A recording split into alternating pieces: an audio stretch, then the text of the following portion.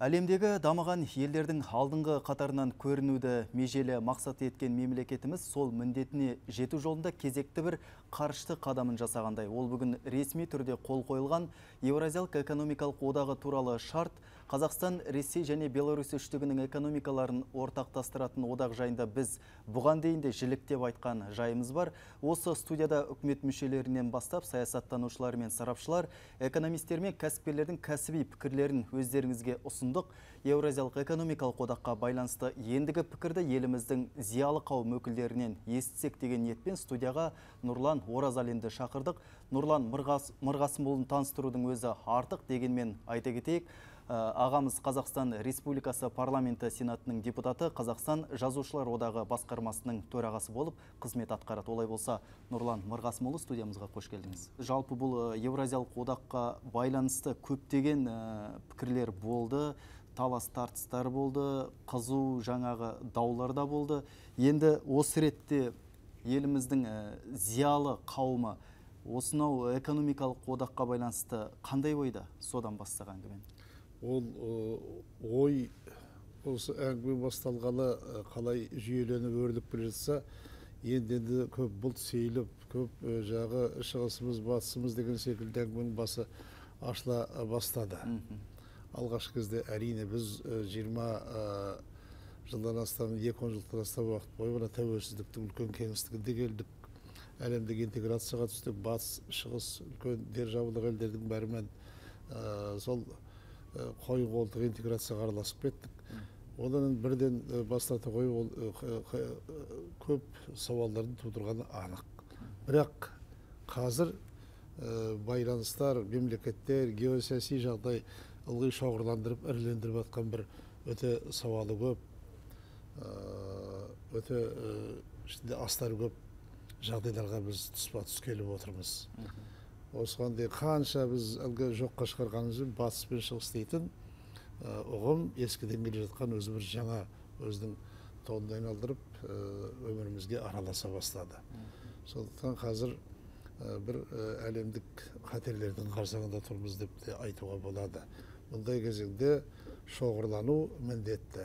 Шоғырлану міндетті баяғы суық қаруға жол беріп қоймау үшін суық сөздердің арты үлкен қатерлі соғыстарға апарып қоймау үшін біз өзі жағдайымызды осы кеңістіктегі сақтауға күресуіміз керек. Менің ойымша экономикалық мына одақ еуразиялық одақ. Жаңағы үш елдің президенті бүгін үлкен шартқа қол қойды соның куәсі болдық қарап отырдық сөздерін тыңдадық. Үшеуінің аузынан шыққан сөзде де үш елдің өзінің егемендігі тәуелсіздігі толық сақталады. Саяси сол ішкі жұмысыңызға араласатын сол әрекеттерге жол берілмейді деді. Бұл әлемнің алдында бүкіл төрткүл дүние тыңдап отырған сөздер төрткүл дүниенің жаңағы құлағы түрік тұрған әңгіме дәл бүгінгі осы астана қаласындағы осы бас қосуға назарын бұрды.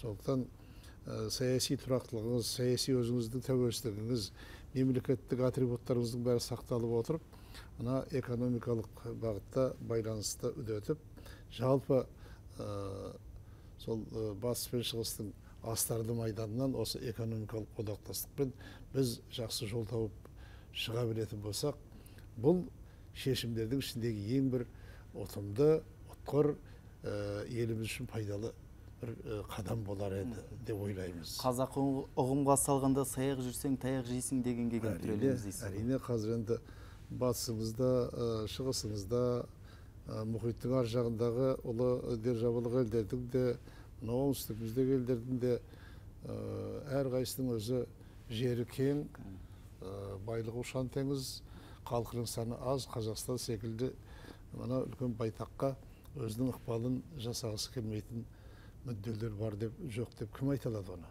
Сондықтан бізге қазір сол елдің ішкі тұрақтылығын сақтау үшін сыртқы алған мынау үлкен капиталдардың бізге келген интеграцияның арқасында жеткен жетістіктерімізді соның қаймағын бұзып алмау үшін менің ойымша дәл қазіргі кезеңде міне зиялы қауым бұған кеңірек қарау керек таразы басына қойып отырып қарау керек. Бізге осы бір тұрақтылық ауадай қажет екенін күні кешегі сол алты жеті айдың ішінде украинаны қандай жағдайға алып келді? Бұл э, демократия деп қанша айқайлағанымызбен батыс пен шығыстың мүддесі майданнан басталды да қандай майдандарға алып келе жатқанын біз аңғарып қалдық қой. Демек бізге э, осыдан қорытынды шығару керек.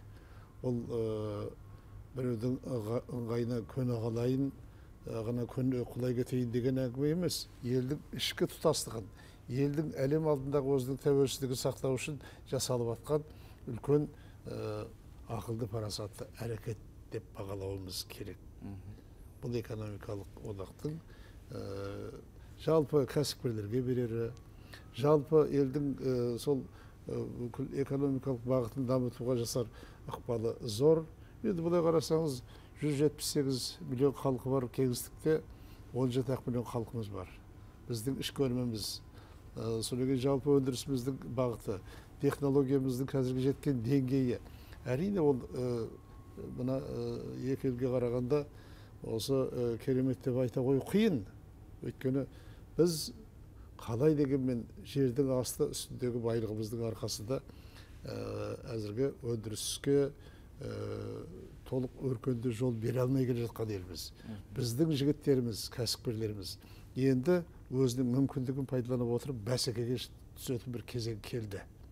Енді ә, мұнайға темірге көмірге ғана сеніп қоймай технологияларды өрістететін өндірістің жаңа көздерін ашатын жағдайда сол нағыз бәйгеде нағыз аламанда өзін сынайтын кезең енді келді деп ойлаймын. Енді нұрлан мырқасымұлы жалпы осы кешіріңіз одаққа енуге байланысты елімізде жоғарыда айттық түрлі пікірлер болды. Бұл өзі жалпы ненің көрінісі? Мына елімізде азаматтық қоғамның шынайы қалыптаса бастағанның көрінісі ме? Жоқ әлде ә, жаңа қазақ айтатындай ә, бір ит ә, біліп үреді қалғандары еріп үредінің кері ме? Сіз қалай ойлайсыз? ә, екеуі де бар ғой бұл жерде. Ә, ойыңызға еркіндік берілмеген болса сөзіңізге еркіндік берілмеген болса ол енді ә, қоғам жасқан шақ болар еді демократиялық құндылықтардың бізге беріп отқан ең бірінші игілігі осы. Сөзімізді пікірімізді жақсын жақпасын айтып үйренетін бір деңгейге біз жеттік қазір. Бұл бірінші сол әлгі ә, демократиялық сипаттағы ой өрісіміздің қаншама кеңістігінің кеңейгені дәреже деңгейінің биіктегенін байқатады.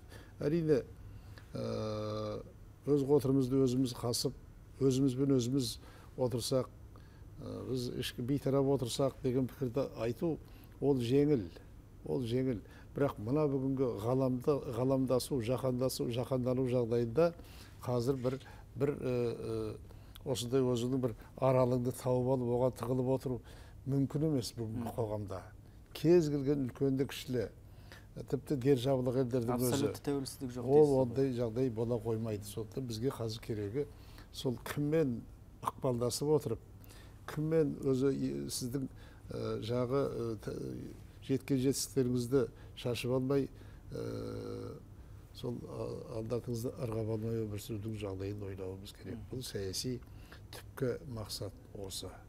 Кез келген экономикалық жағы осылай одақтардың ар жағында саяси мүдде болады болмайды мүлдем деуге болмайды болады. Бірақ дәл мына жағдайда бізге қазір экономикалық одақтастық ғұмыр кешу батыс шығысыңнан таңдау жасай білу ауадай қажет. Не шығысыңмен бол не батысыңмен бол дейтін сұрақ шығады.